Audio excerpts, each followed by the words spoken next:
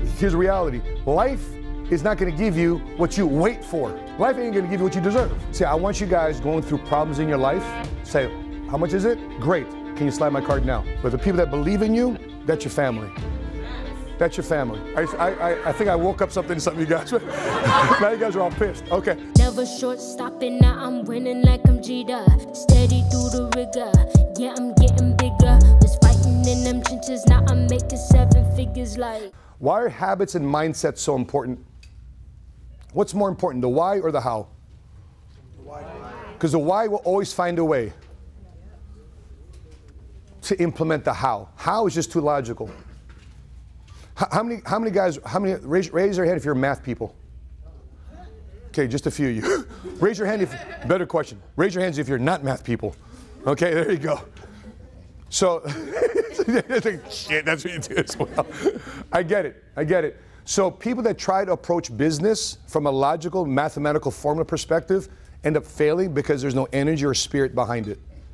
Because how you, how you think things is how you see things. And how you see things is how you do things. And how you do things is the results you're going to get. So it starts from what? How you think things. So that's why we have such a large investment towards leadership development and personal development as it relates to financial services. Because how you think things is how you see things, and how you see things is how you do things. Okay, so here's what strugglers do they wait for things to happen. Listen, I, uh, how many times have you heard some, I can't wait for what 2022 is going to bring me in my life?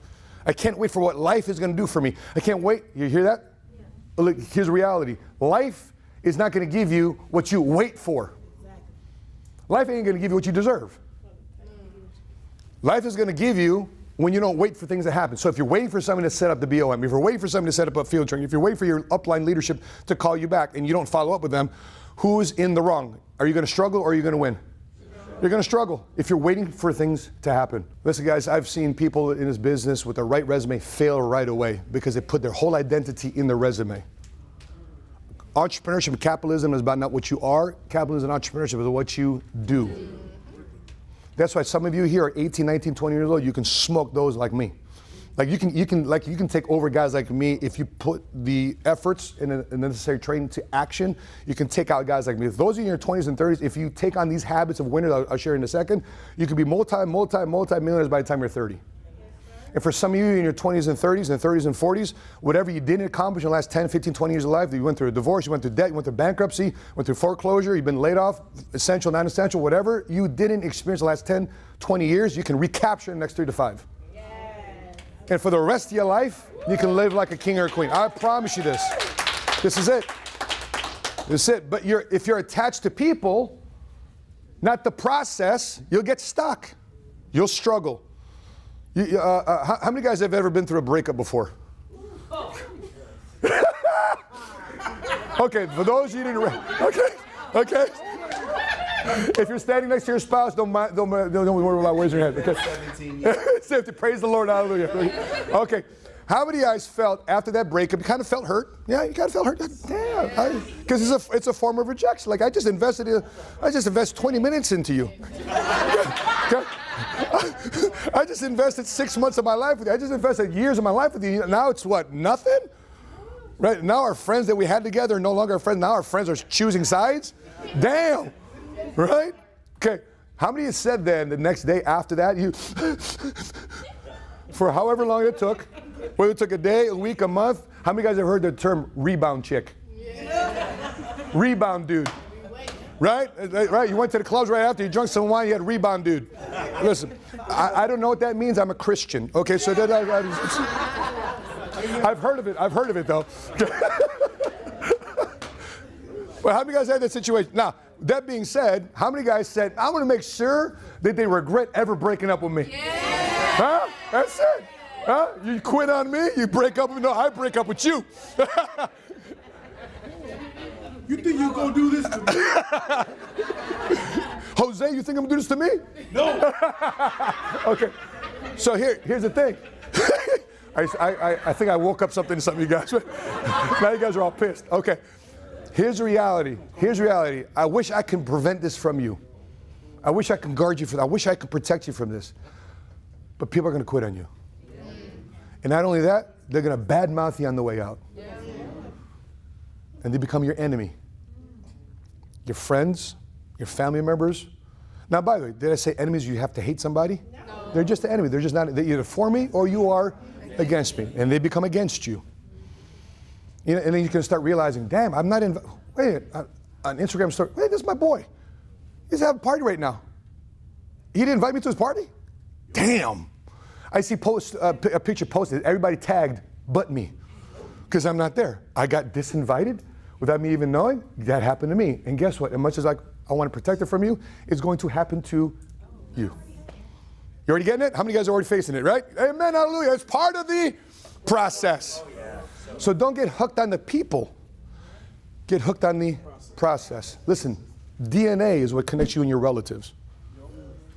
But the people that believe in you, that's your family. That's your family, okay? All of us here, okay? This might be your new family. Okay, this might be your new, because listen, we're, we're, believing in you, we recognize you, we're willing to go through the struggles together, we're willing to get arrested together, we're family. Okay? okay? That's it. Okay, we're family. But but you're gonna struggle through that if you're hooked onto people. Listen, I know COVID's going on and a lot of things are going on, but please don't use COVID as another excuse for the dog ate my homework.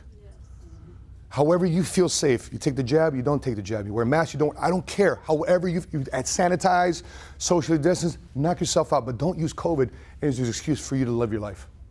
Don't live in a position of fear.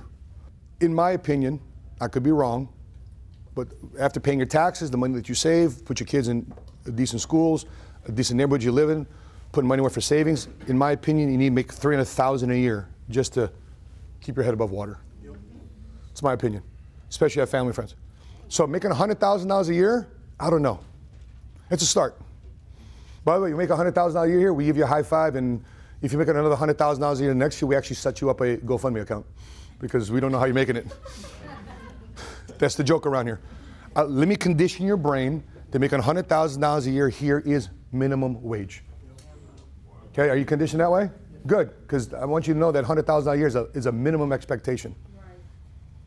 And the only way you get off the rails to make $100,000 this year if you're lazy and inconsistent. That's the only way.